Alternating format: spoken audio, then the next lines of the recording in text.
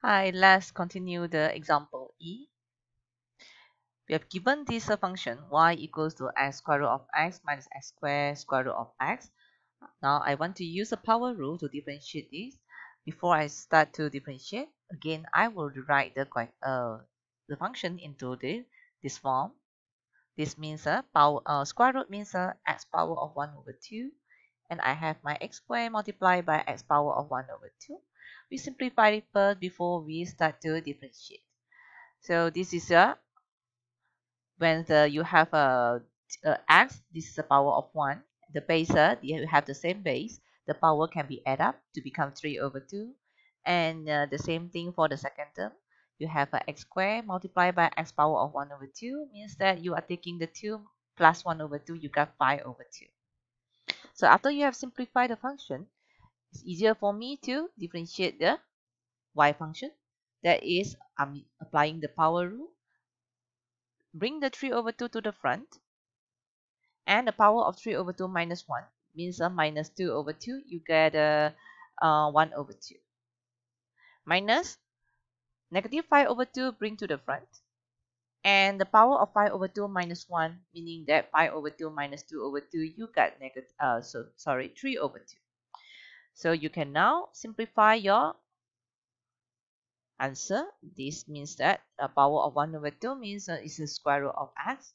And uh, this uh, x power of a 3 over 2 means you can write in this form.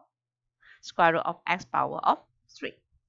So this is the answer for the uh, example E. And, and for the example X, again, write the question.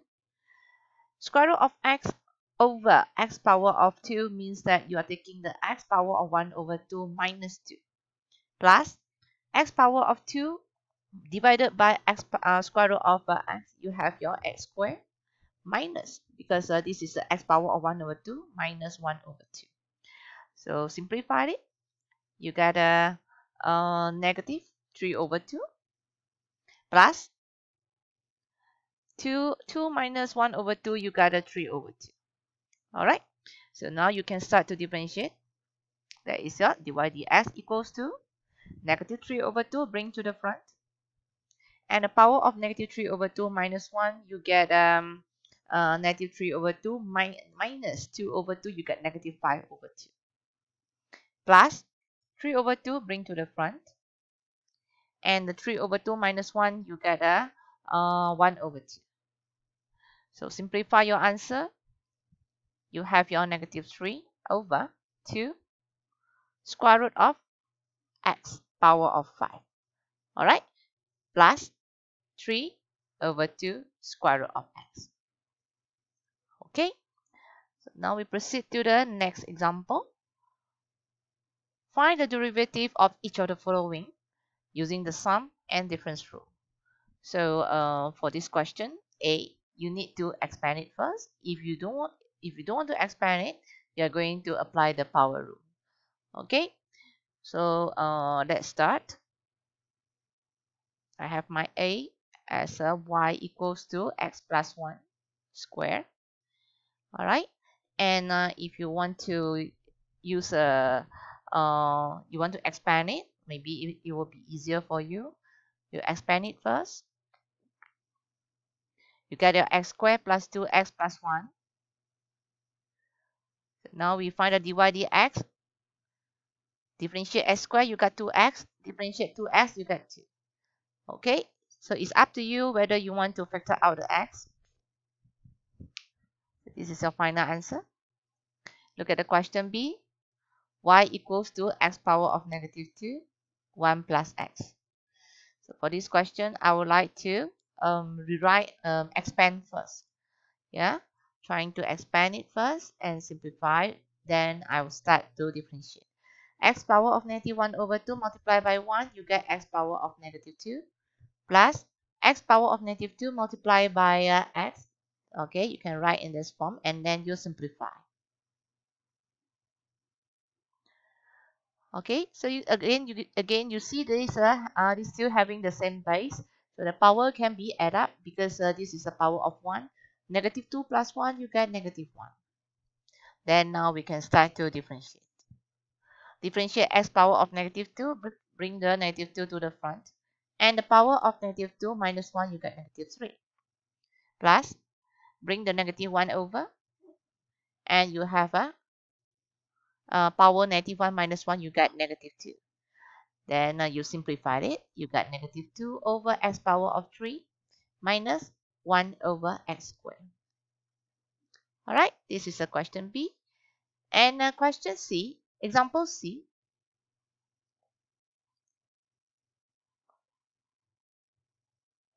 Before we start to differentiate, rewrite this and expand this first. To x cubed multiplied by x, you get a 2x power of 4. To x cubed multiplied by negative 5, you get negative 10x cubed plus x minus 5. After you have rewrite in this form, then easier for you to differentiate. So find the dy dx term by term, differentiate term by term. Uh, the, for the first term, you got the 8x power of 3. And uh, second term, bring the 3 over, you got negative 30, x power of 2. And uh, differentiate x, you got 1. Differentiate negative 5, you get a 0. So this is your answer for the dy dx. For the example D, we still need to expand it before we start to differentiate. So uh, expand x squared multiplied by x, you get x cubed. x squared multiplied by 1 over x, you get x. Minus 2x multiplied by x, you get negative 2x squared. And negative 2x multiplied by negative 1 over x, you get positive uh, 2. Alright, let me check. Uh, yes. So after that, you got your dy dx. Differentiate piece by piece. Okay, differentiate the x cube, you got 3x squared. And uh, differentiate negative x, you got 1. Differentiate the negative 2x squared, you get a negative 4x. Again, differentiate constant, you get 0. So you just leave your answer like that. For the example E, again, I would like to expand first before I start to differentiate. Expand 4, my, 4 over x multiplied by x, you got 4. 4 over x multiplied by negative 1 over x squared, you got negative 4 over x cubed. And negative x multiplied by x, you get negative x squared. Negative x multiplied by negative, you got. Negative x multiplied by 1 over x squared, 1x can be cancelled off, you got the 1 over x. Alright, so now we start to, uh, before I start, again, I'll write, rewrite this in this, the 4 over x cubed into the form of 4x negative 3. 4x power of negative 3 and the 1 over x uh, be written into the form of x power of negative 1 okay so this is 4 minus 4 x power of negative 3 minus x squared plus x power of negative 1 so uh, now we can start to differentiate. Dy dx differentiate constant 0 differentiate this bring the negative 3 over multiply by negative 4 you get 12 12x power of negative 4 because the power of negative 3 minus 1 and the 2 bring over you get negative 2 x power of 2 minus 1 you get 1 and this negative 1 bring over you get negative 1 and uh, you get a negative x power of negative 2 alright simplify your answer. You get 12 over x power of 4 minus 2x minus 1 over x squared so proceed to this example for this example, I'm not going to use a quotient rule because some people will see that this is a, a U and this as a V. Now they, uh, they, they might apply the quotient rule since this question asking us to use the sum and difference rule. So we know that it might be a need to simplify, rewrite the question into this form, meaning that we will separate it into two terms. Okay, after that, simplify first. You got t over 2 for the first term. And the second term, you got 1 over 2. Alright, so differentiate s with respect to t. Because that this is a function, the name of the function as x, and the variable will be t. So we differentiate s with respect to t. Differentiate t over 2, we got a 1 over 2. Alright, differentiate a constant will be 0. So your answer would just 1 over 2. So the same thing for this question you will just uh, rewrite this, uh, split it into two terms. That will be z cubed over square root of z minus z over square root of z. And then simplify it first. means that uh, for the first term you might have a power of 3 minus 1 over 2 because uh, square root means that uh, having the power of 1 over 2 since uh, this is divide, divided by the square root of z the power might be deducted alright? Minus z this one is power of 1 minus 1 over 2 and uh, trying to simplify it. Z power of 3 minus 1 over 2 you get a 5 over 2 power of 5 over 2 and uh, this one you have a 1 over 2 so now we can differentiate find the derivative. Apply the power rule you have, might bring the 5 over 2 to the front and the power 5 over 2 minus 1 you will have a 5 over 2 minus 2 over 2 you get a 3 over 2 minus bring the 1 over 2 to the front and the power 1 over 2 minus 1 you get negative 1 over 2 okay so you can have your uh, simplification. You have your z power of a 3 square root. Okay, the over 2 means it's a square root.